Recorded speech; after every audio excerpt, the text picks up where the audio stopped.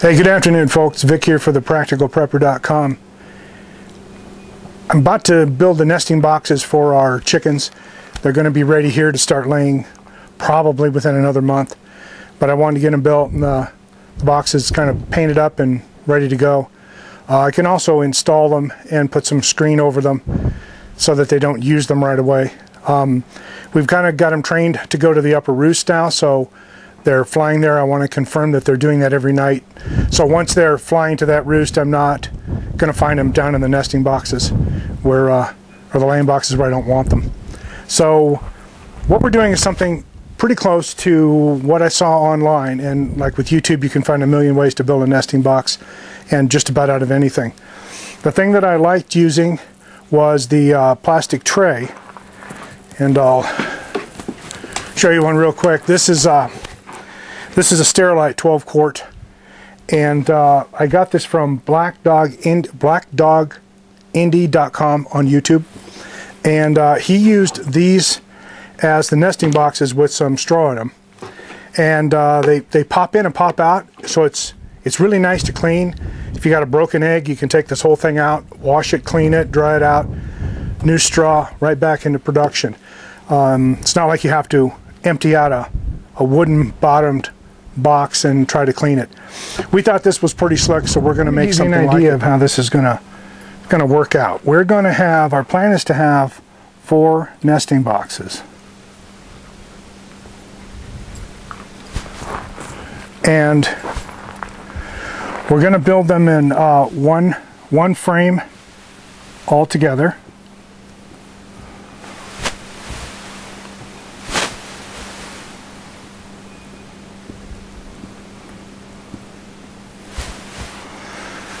And um, what we're going to have is four different boxes. Two, three, four. So we're going to run four boxes. It's going to be perched 12 inches off the ground. So this being the floor. We're going to put a little kicker plate. I've got some extra lumber. It's going to have the uh, the 12 inch raised and then the other portion will be 12 inches above it. Um, unique to all the boxes is that if you if you look at, at an individual box just by itself,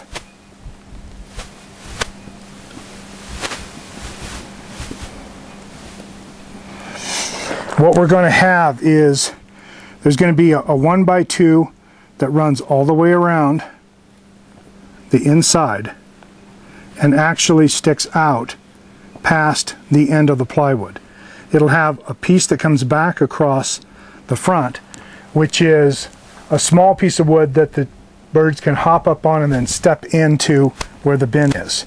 So the bins, looking at this just straight on an end view, there'll be a rails on either side. The tub sits inside the rail. And the edges of the tub rest on this rail system. There's one along the back as well. And so on three points, uh, a top view would have a rail, well, it would have a rail here, across the back, out the front, and then across. The tub would rest all along this rail, and then right across here would be the end of the tub. So the birds can hop up on here and go into the into the tub itself. The nice thing is the tubs are just removable. Just reach in and pop it out. If it becomes unusable or you need to clean it, pop it in. If it gets damaged, just slip a new one in um, and you're ready to go again. So the design's pretty easy. Um, and I think I think it's going to be pretty simple to build.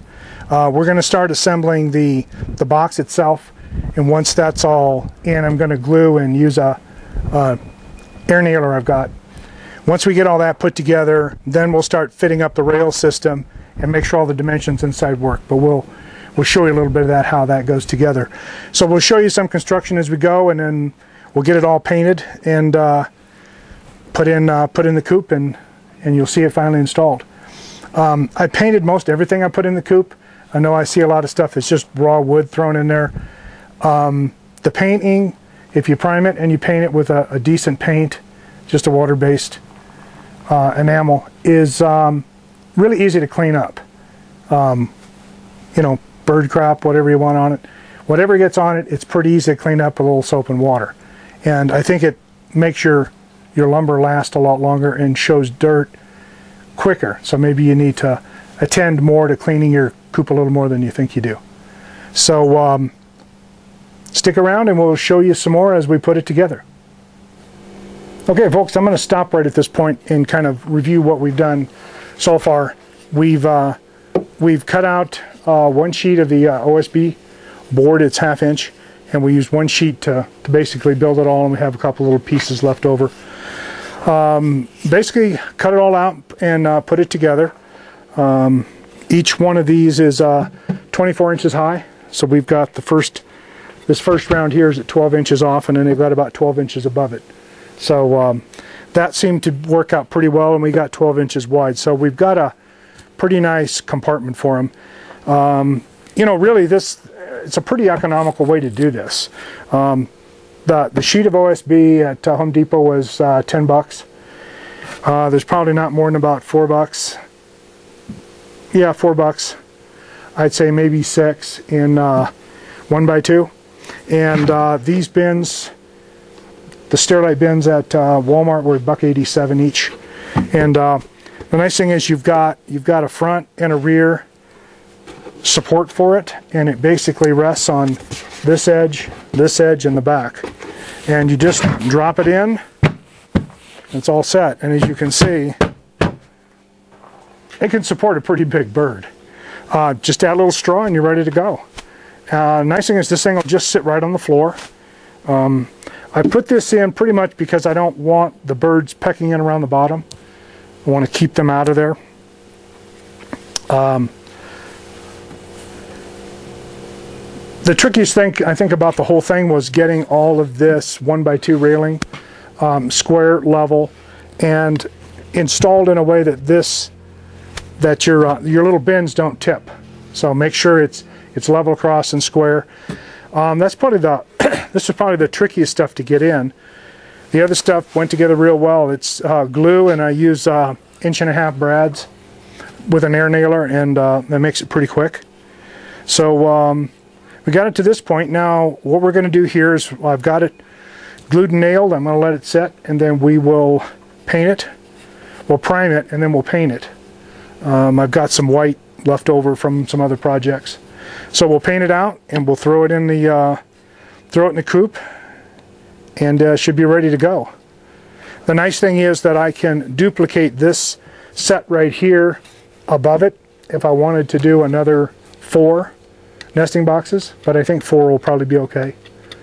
Um, kind of what our some of our plans above this is to probably put a a smaller two foot by four foot cage and then a smaller say 12 by 12 or maybe 20 by 20 cage on the end. And uh, use that as uh, a brooder. If we uh, do some more chicks we can do them right in the right in the coop uh, to replenish the stock or do something different. So we have some plans above this in the coop to kind of fill in some spots and give us more capability.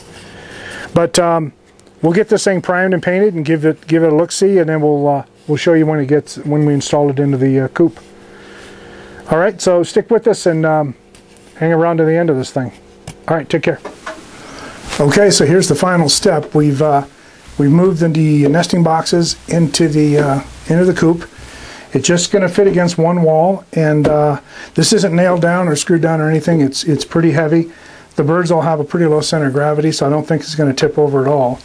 It's actually pretty sturdy. Um, so here's here's the baskets. Here's the little pans. And you can see we've just added some straw to them. And uh, they just drop in, put them in place, and wait for the eggs. So we just put these in uh, September 1st. That was our plan. We um, They should start laying sometime this month. but I wanted to get this in so it was in front of them. So um, it's in place. It's it's actually turned out really well, and I think it's very simple. And um, like I say, it's uh, I think it will last a very long time. Um, we had a couple droppings up here, so if they start roosting, I'm just gonna build a little quickie angle thing to go on each end. And uh, just a piece of something here to where they can't roost up here. Um, we've cleaned it off, so we're gonna watch it. We know we got two birds that aren't flying up to the full roost. They're usually in this corner, and we come in here at night and put them on the roost. But they haven't, I don't think they've quite got that down yet, so those may have been the two up here. So I think the project worked out really well. Um, wanting for more information, let me know. But I, I think this nesting box is quick, it's simple. Um, like I said, the only precision was just getting all of these pieces right here equal on a level so the tubs sit and are fully supported on all three points. Uh, other than that, I think it's an easy little weekend project. Okay, that's it for now. That's it on the nesting boxes. Uh, let me know if you want inform more information and I will get it to you. And um, take care, and we'll see you next time.